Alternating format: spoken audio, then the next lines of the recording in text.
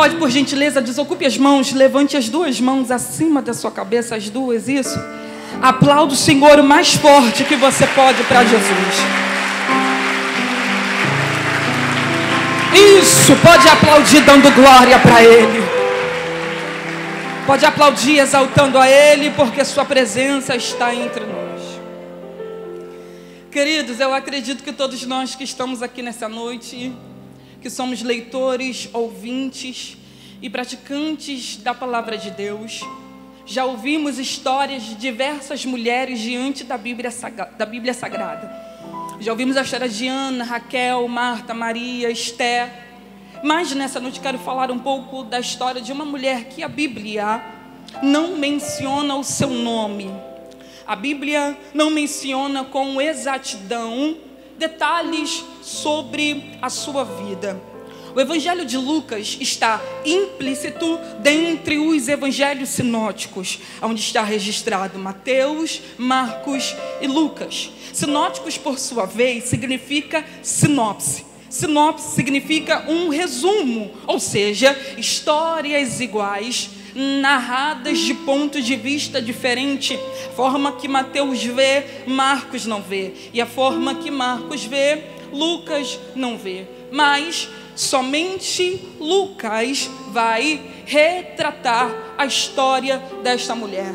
Pois o capítulo 13 está escrito que havia uma mulher que possuía um espírito de enfermidade, havia já há 18 anos e andava curvada e não podia de modo algum endireitar-se. Há 18 anos, a mulher está na mesma situação. Há 18 anos, ela vem, ela vai e a sua vida continua do mesmo jeito. Há 18 anos, ela entra, ela sai e a sua vida continua da mesma forma. Há 18 anos, ela vem para a igreja, volta da igreja e a sua vida continua do mesmo jeito. O texto vai revelar para nós que um dia a mulher está chegando na sinagoga no sábado, e esse sábado era o ano sabático, era o ano que era proibido efetuar qualquer tipo de cura ou qualquer tipo de trabalho. Mas o texto vai revelar para nós que quando a mulher chega, Jesus está na casa. E quando Jesus está, Jesus estava fazendo o que mais amava fazer, que era falar da sua palavra, ensinar a sua palavra. O texto vai revelar para nós que a mulher era curvada, não podia de modo algum endireitar-se. Alguém que é curvado, ele está limitado a olhar para cima. Alguém que é que é curvado, ele somente, ela somente olha para baixo, olha para o chão. Sendo assim, não há nenhuma expectativa de esperança, não há nenhuma expectativa de vida, mas o texto vai revelar para nós que há 18 anos a mulher entra e sai, mas não desiste de buscar o que ela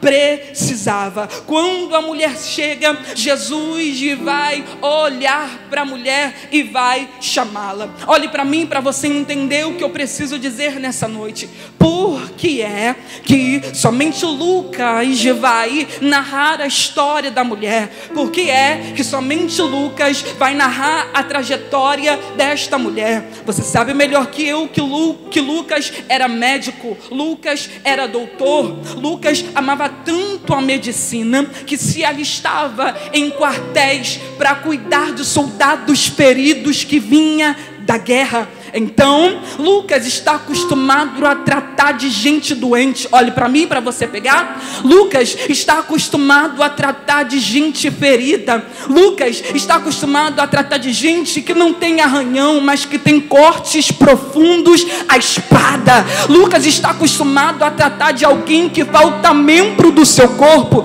Então, ele sabe bem detectar alguém que tem um problema carnal. Arrepiou? Então vamos lá. Lucas está acostumado a tratar de gente doente. Lucas está acostumado a tratar de gente enferma. Lucas está acostumado a estar perto de gente doente. Mas quando ele narra a história da mulher, ele vai revelar o verdadeiro diagnóstico. Porque ele está dizendo: havia uma mulher que possuía um espírito de enfermidade. Ele está revelando revelando para a gente que o problema da mulher não era carnal, ele está revelando para a gente que o problema dela era no espírito, porque se o problema é carnal, um tratamento resolve, se o problema é carnal, um medicamento dá jeito, mas há 18 anos a mulher entra e sai e a vida continua do mesmo jeito. Quando ele está dizendo a mulher estava com espírito de enfermidade, ele está dizendo o problema dela não é no corpo, o problema dela é na alma, o problema dela não é na carne, o problema dela é no espírito. Olhe para mim, o problema da mulher não era no físico, o problema da mulher era no espiritual. E se há alguém que é especialista em tratar no espiritual de alguém, esse alguém é Jesus. Porque quando Jesus vê a mulher, arrepiou de novo os vasos ligados, vai entrar comigo porque é só recado. Quando Jesus, pastor Eliseu, está vendo a mulher entrando, a mulher, aleluia, está de canto e Jesus vai exclamar: Mulher, estás livre. A mulher estava dentro, mas estava longe de Jesus. A mulher estava na casa, mas estava o seu problema. Jesus vê a mulher, e quando Jesus vê, Jesus chama. Quando Jesus chama a mulher, Jesus vai dizer: Mulher, estás livre. Olhe para mim, para você pegar isso aqui. Quando Jesus está dizendo para ela: Estás livre, Jesus está dizendo: Eu te liberto agora.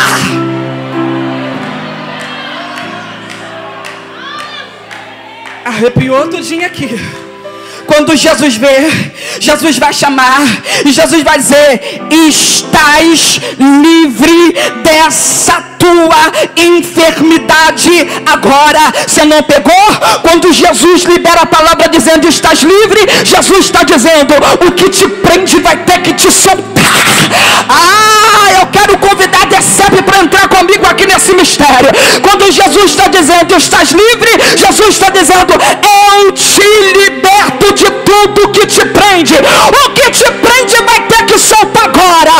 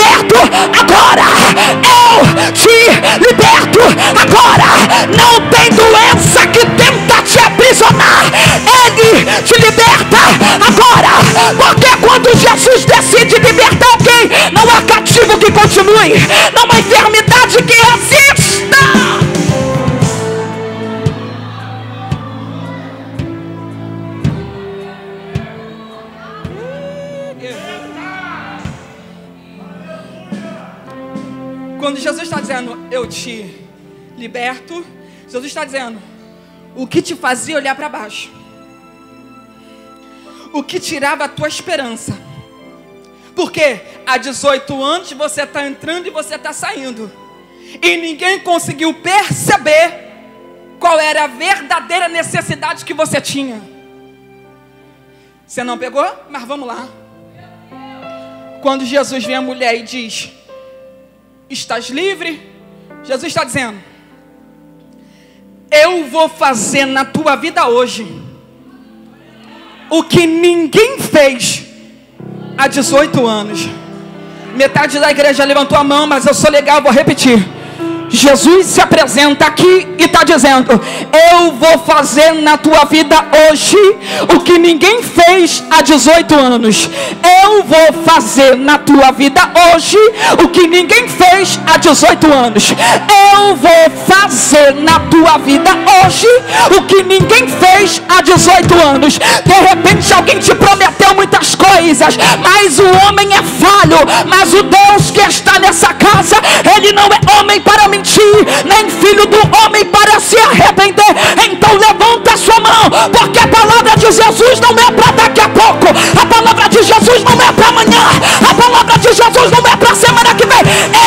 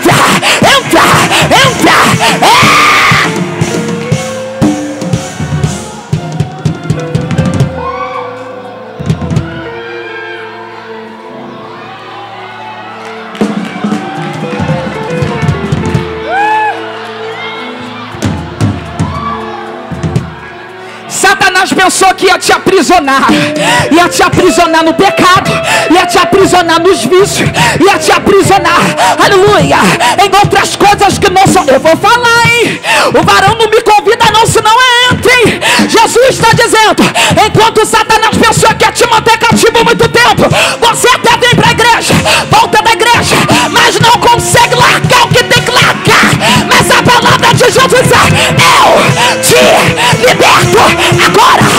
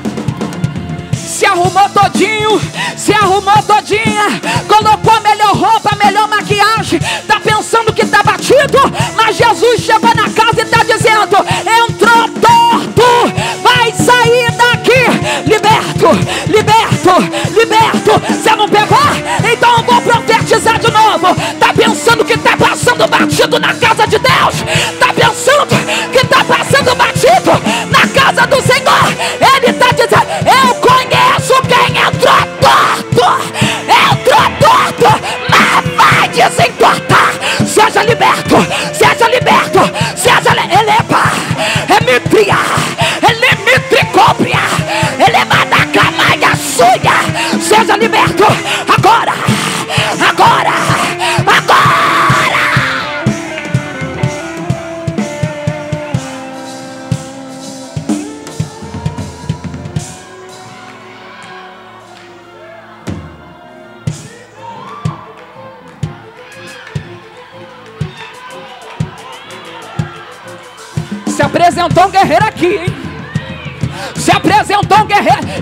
Entrar comigo aqui? Quem pode entrar? Eleba, Eremia, Eluplitiplopnica Mancha Repaia. É, o varão fiscalizador já passou na casa. Chega de patifaria na casa de Deus. Tá pensando que o teu pecado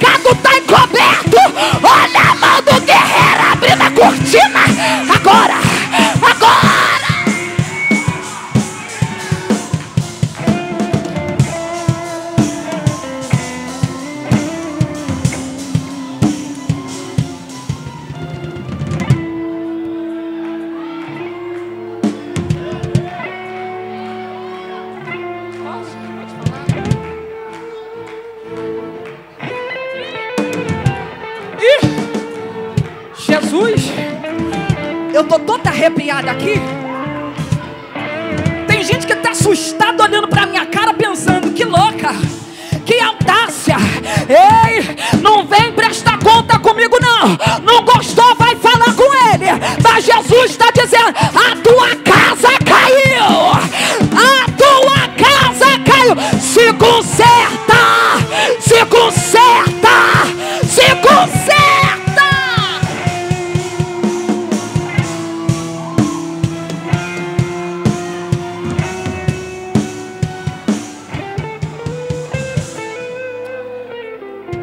Pensando que tá cantando, tá passando batido.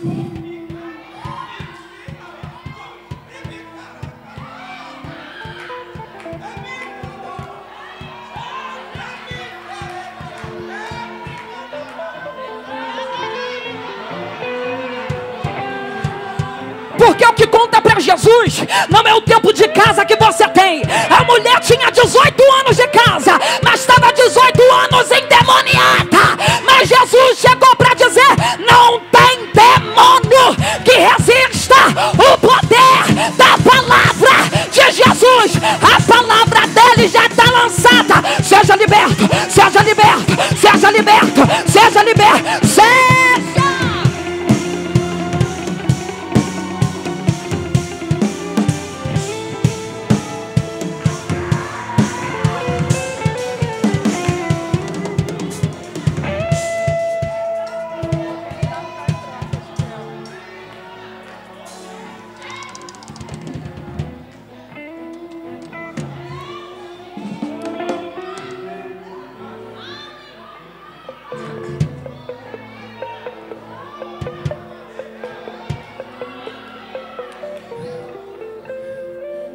Sabe o que Jesus está dizendo para alguém? Eu vi. Eu vi e eu te chamo para perto para te fazer soltar o que você sozinho não consegue soltar. Por quê? A mulher estava há 18 anos. Não é possível que estava cansada de viver a vida do mesmo jeito. Mas não conseguia se livrar da possessão que a tomava. Aí Jesus, quando vê e chama, Jesus está dizendo: Eu sei que sozinho você não consegue. Então vem que eu te liberto. É simples, mas é de Deus. Hã? Por que Jesus entende que sozinha ela não consegue? Porque quando Jesus vem e chama, Jesus não vai perguntar para ela o que ela queria. Porque Jesus já entendia a necessidade que ela tinha de receber algo. Você não pegou? Vem cá.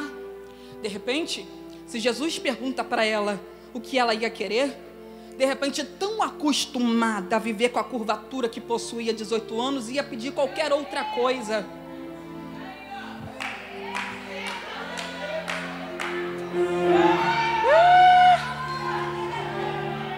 Que é que Jesus não vai perguntar para ela o que ela queria?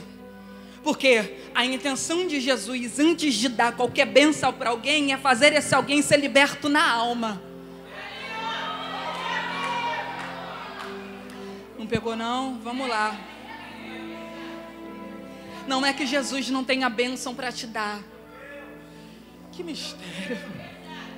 Não é que Jesus não tenha para entregar para você o que você tanto pediu, mas para Jesus é mais válido uma alma salva, uma vida liberta do que qualquer outro tipo de bênção. Você está entendendo o que Jesus está dizendo? Antes de eu, te der, de eu te dar qualquer coisa, primeiro eu vou te dar a libertação na alma. Ah, você não quer pegar, mas eu vou dizer de novo: Jesus está dizendo o que importa para mim não é uma vida abençoada, mas é um espírito sarado e liberto. De repente, você está pensando que vai viver dentro desse quarto escuro há muito tempo, a depressão está te tomando há muito tempo, mas você está conseguindo disfarçar com uma maquiagem muito bem feita, uma roupa muito bonita, mas Jesus está dizendo: Eu enxergo além da maquiagem, eu enxergo além da roupa cara, eu enxergo além do carro de luxo que você tem, mas Jesus está dizendo: O que importa para mim é a tua alma liberta do que bens materiais. Bens materiais virão, mas antes dos bens materiais, você receberá a libertação na tua alma. Então seja liberto na mente, seja liberto na mente, seja liberto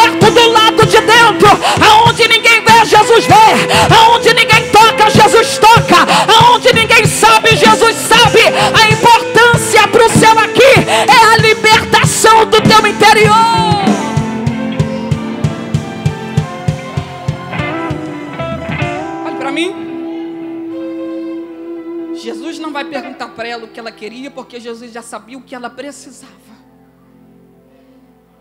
Hum? Jesus não vai perguntar para ela o que ela queria, porque Jesus já sabia o que ela precisava. Jesus vê. Jesus chama. Jesus libera a palavra. Mulher, estás livre. Olhe para mim. Todos nós sabemos muito bem o que é que tem aqui dentro que faz a gente se curvar a algo. Não apaga não, vem comigo. Todos nós sabemos muito bem o que é que tem dentro da gente que faz a gente se curvar a algo. Hum? E nós somos os únicos que têm o poder de deixar Jesus entrar e nunca mais se curvar. Porque a libertação não é a força. A libertação é voluntária.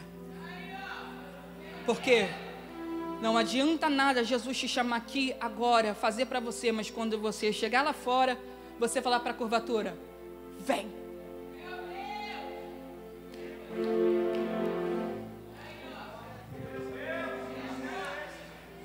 Não adianta nada chegar aqui, receber quebrantamento, poder do Espírito, marchar, mas quando chegar lá fora, a primeira oportunidade que você tiver de curvar, se entregar.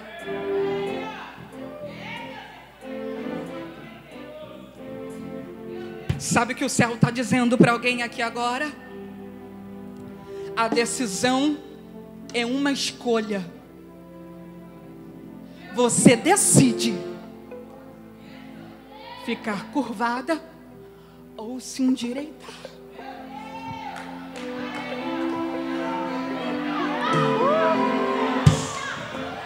Você decide continuar do jeito que está ou ter uma vida de mudança. Você decide se continua barganhando e negociando o ministério que o céu tem para você, ou se decide viver uma vida de santidade.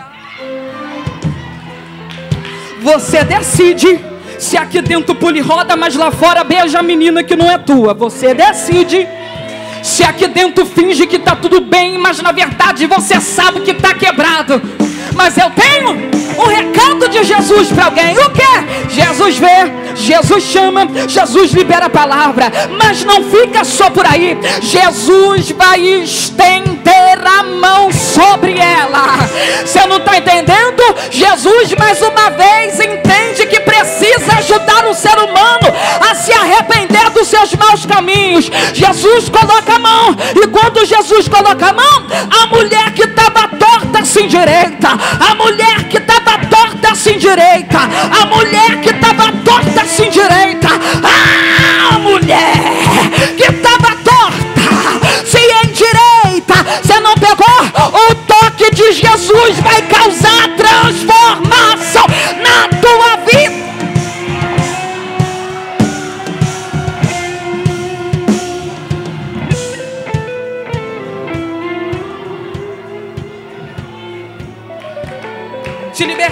libertei. Arranquei de você o espírito, arranquei. Mas para tu não desistir de se endireitar, Jesus pega na mão e levanta. Mas para tu não dar meia volta no processo, Jesus pega na mão e levanta. Você não pegou? Você não pegou? Hoje aqui você não tem escolha. Hoje aqui, eu vou repetir, eu vou repetir, eu vou repetir, porque eu sou de Deus, eu vou repetir. Hoje aqui você não tem escolha. É só receber o toque dele e se levantar direitinho de novo. É só receber. Ei, caramba! Eita, Jesus! Eita, meu Deus! Olhe para mim, olhe para mim, olhe para mim. Jesus está dizendo agora: fique de pé do jeito que tem que ficar. Não dá para barganhar,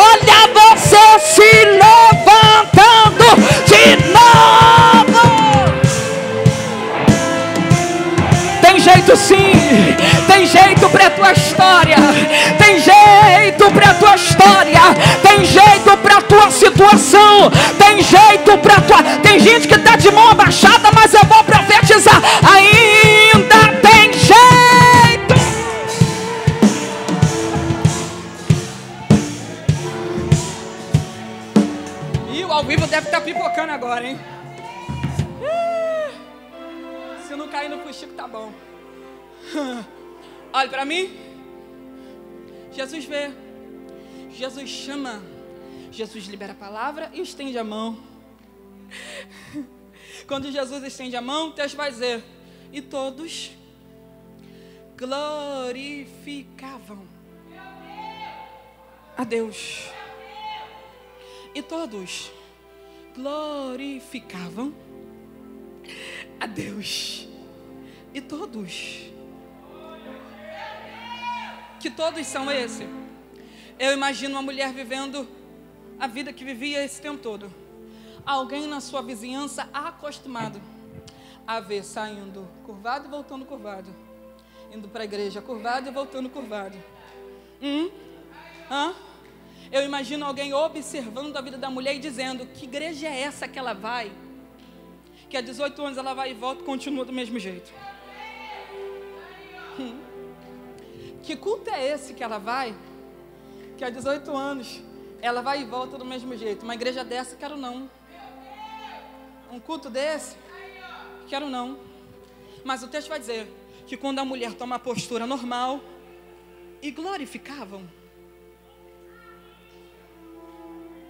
e glorificavam. Você não pegou? A transformação que Jesus faz na vida dela traz conversão para quem lhe observa.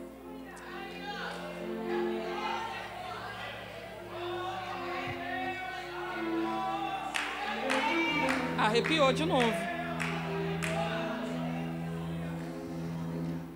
A transformação que Jesus faz na vida dela causa conversão em quem lhe observa. Hum.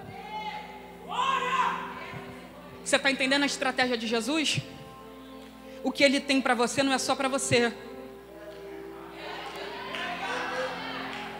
Ele quer salvar você, quer, mas quer salvar você em sua casa. Ele quer salvar você e quem não acredita em você. Mistério.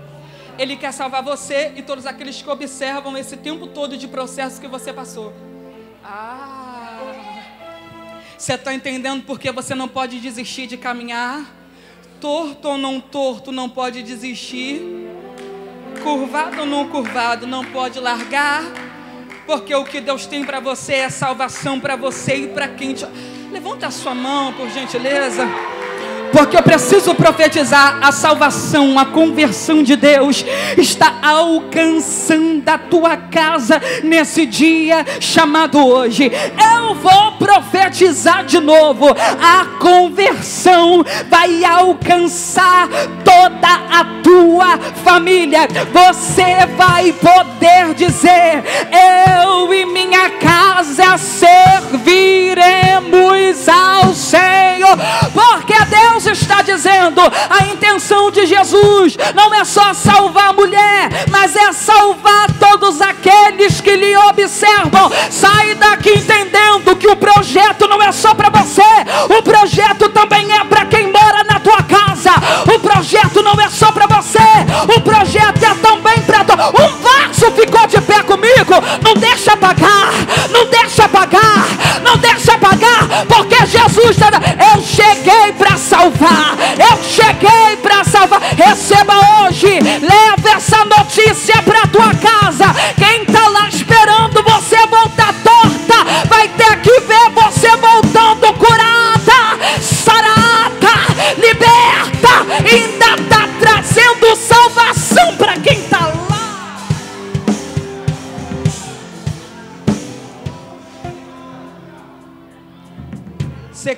Crê nessa palavra?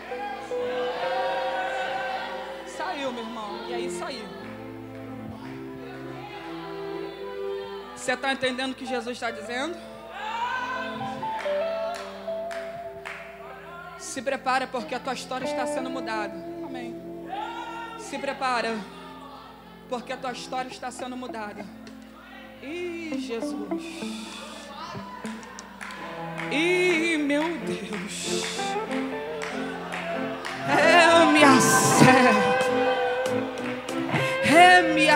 Suia levar. Há um mistério na casa.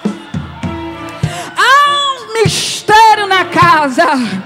Jesus está dizendo: não tem aliança que foi feita lá, não tem pacto que foi feito lá, porque a conversão vai chegar lá. Eu não quero saber quem serve a outros deuses, eu não quero saber Jesus está chegando na tua casa para salvar.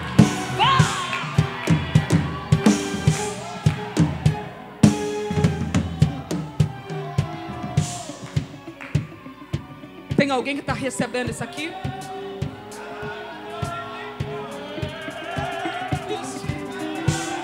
Tem alguém que está recebendo isso aqui? Tem gente chorando aqui. Vem cá, Mariana, vem cá. Abraço nela, por favor. Dá. Tem alguém que está recebendo isso aqui? Vou ficar parada, vai lá. Tem alguém que está recebendo isso aqui? Tem alguém que está recebendo isso aqui? Tem alguém que está recebendo isso aqui? A tua casa receberá uma nova história da parte do céu. Porque quem escutou falar do proceder da tua família vai ter que falar agora: Jesus entrou lá, Jesus está lá, Jesus morará. Receba hoje a libertação para ti e para os teus.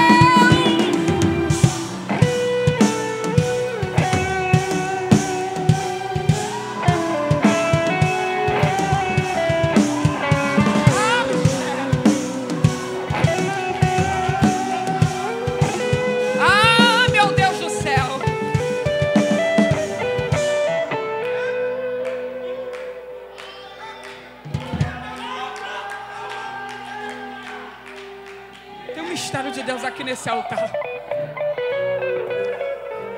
Tem um mistério aqui, pastor Eliseu.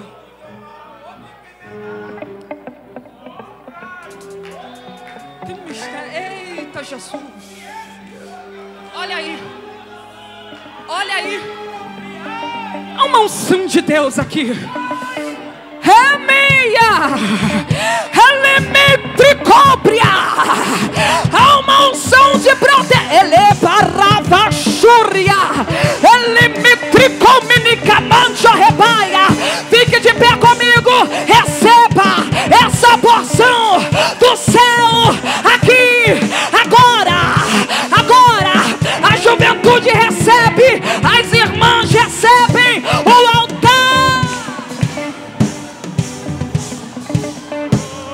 Oh, dá glória a Deus, irmão. Que não é possível que uma presença dessa que tomou a casa